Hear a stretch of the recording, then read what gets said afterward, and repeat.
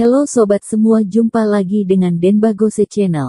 Bagaimana kabar sobat semua sebelum kita mulai cerita ini ayo silakan subscribe, like, komen, share dan nyalakan loncengnya untuk mendapatkan notifikasi terbaru ketika Mimin upload videonya.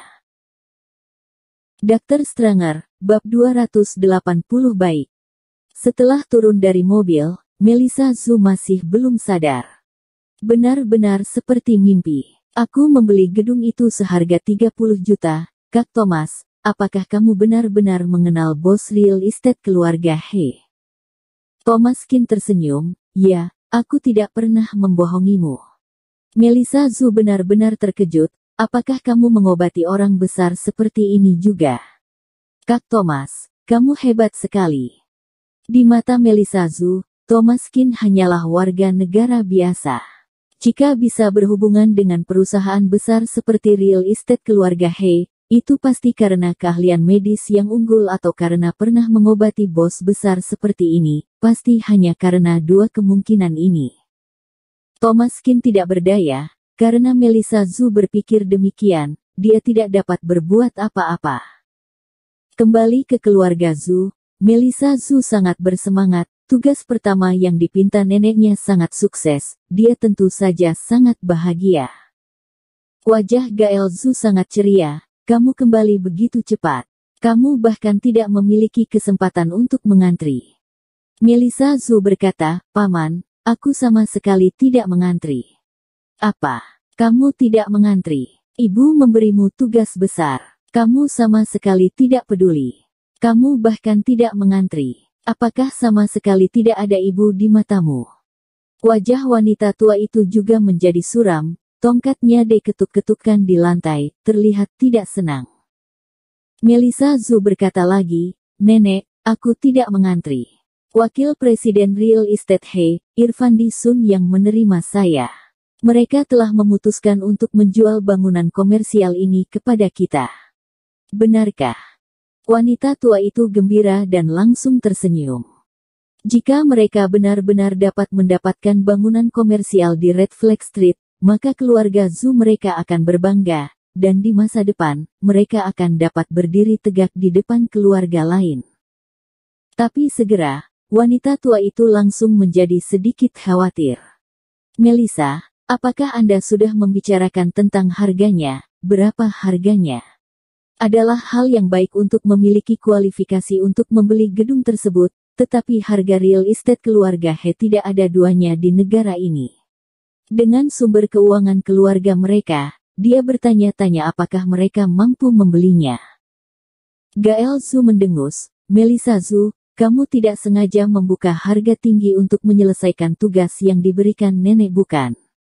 Kamu harus mempertimbangkan situasi keluarga Zu kita. Uang keluarga Zu tidaklah dapat dihabur-hamburkan begitu saja. Apa kualifikasi Melissa Zu sehingga membuat orang dari real estate keluarga He bertemu secara langsung? Pasti karena harganya lebih tinggi dari yang lain, sehingga mempunyai kualifikasi untuk membeli. Nyonya tua itu juga mengernyit, sulit membeli gedung ini dengan harga pasaran, apalagi meningkatkan harganya. Melissa Zu ini, Benarkah untuk menyelesaikan tugas yang dia berikan, sehingga tidak ragu untuk meningkatkan harganya? Wajah wanita tua itu suram dan bertanya. Melissa, seperti kata pamanmu, apakah kamu menaikkan harganya?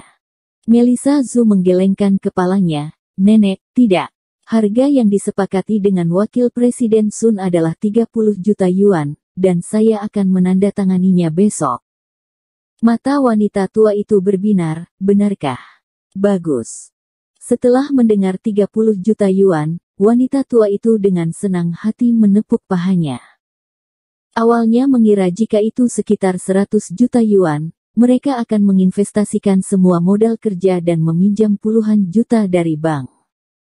Tapi sekarang, gedung mewah ini hanya berharga 30 juta yuan, yang seperti mendapatkan secara gratis.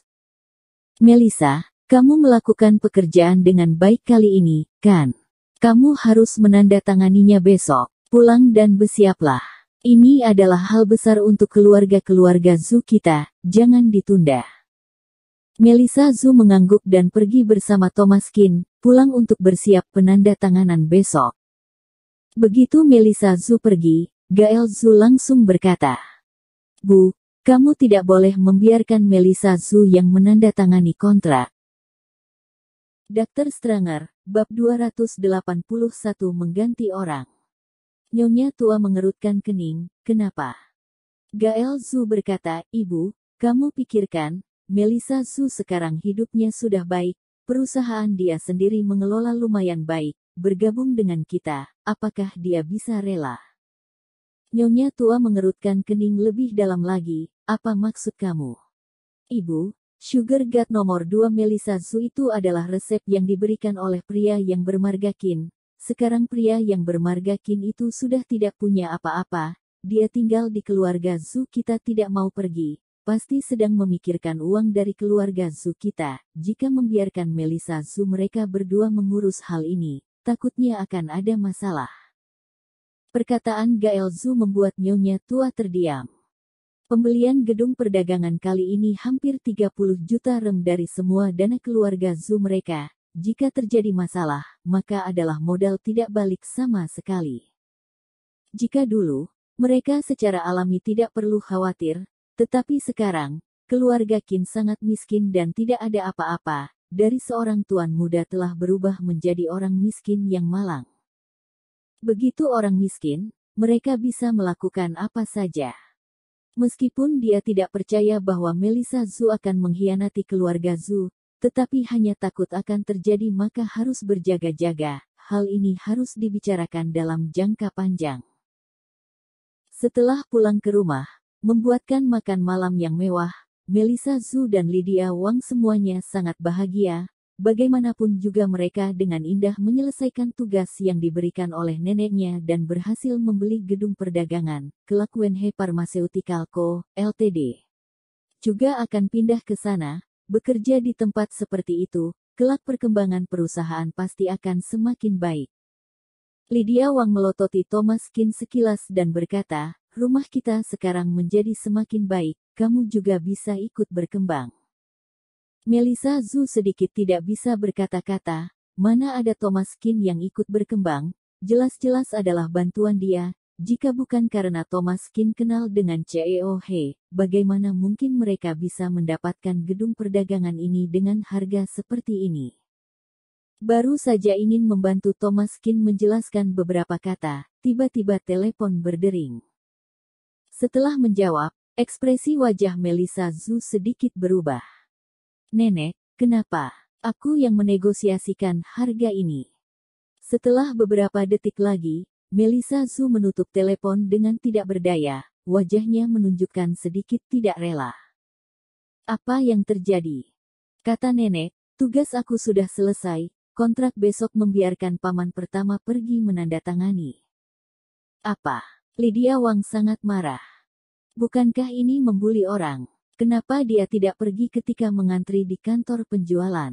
Saat itu sudah merasa tugas ini tidak akan mungkin menyelesaikan, ingin menyuruh kamu pergi menderita penolakan dan teguran. Sekarang harga telah selesai dinegosiasikan, hanya kurang menandatangani kontrak, tidak disangka membiarkan Gael Su pergi. Setelah Gael Zu menandatangani kontrak, setelah itu nenek akan mengatakan bahwa dia telah melakukan hal besar untuk keluarga. Jasa Melissa Zhu akan benar-benar dinyangkal, ini sangat tidak adil. Thomas Kin ketawa mengejek, Nyonya Tuau yang ini tidak adil juga terlalu jelas. Ketika bertemu masalah, membiarkan Melissa Zhu yang pergi mengurus, ketika ada hal baik langsung membiarkan Gael Zhu yang pergi, benar-benar sangat konyol. Tenang saja, Melissa, tidak ada kamu, siapa pun juga tidak bisa menandatangani kontrak ini.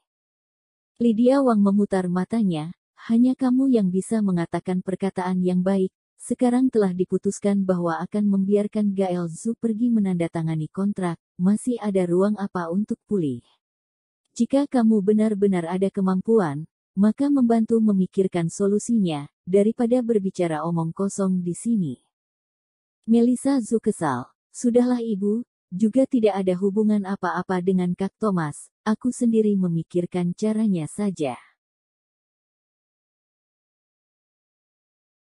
Bersambung. Terima kasih kepada kalian yang telah menonton video ini. Jangan lupa tekan tombol subscribe-nya dan nyalakan notifikasinya untuk mendapatkan video-video seru lainnya dari channel Denbagose.